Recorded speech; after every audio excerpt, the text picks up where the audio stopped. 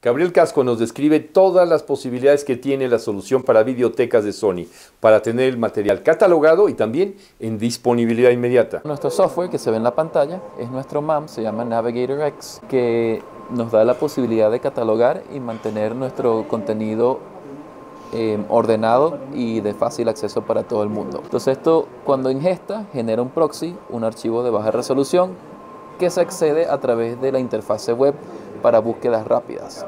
Entonces esto tiene la ventaja de que no tenemos que estar abriendo el video en alta y consumiendo mucho ancho de banda para revisar si es el video que queremos utilizar. Adicional a eso, podemos catalogarlo. Los campos de catalogación son totalmente configurables y este, la búsqueda es también súper flexible. Básicamente lo que ven ahí, yo la manera más fácil de explicarlo es, es un YouTube em, interno para los canales de televisión. Lo mismo, ponen una palabra clave y consiguen todos los videos que necesitan para, para trabajar. Hace transcodificación, hace control de calidad, este, se integra con librerías robóticas, con ODA, con, cualquier, con otras librerías de cualquier marca, se integra con la nube, este, tiene integración con YouTube y pueden comenzar de una, solución muy muy pequeña desde un usuario y crecer hasta una solución más enterprise con 100, 200 usuarios según sea necesario. El hardware que se utiliza es hardware normal y corriente, necesitamos especificaciones mínimas para instalarlo, pero podemos utilizar Dell, HP,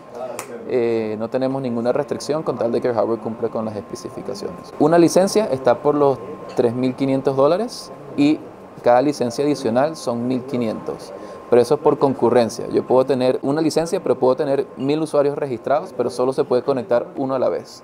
Cada uno adicional son 1.500 y es solo es por concurrencia. Es un servidor IT normal, eh, puede ser del HP, lo que damos son las especificaciones y con tal de que cumpla con las especificaciones mínimas se puede instalar ahí.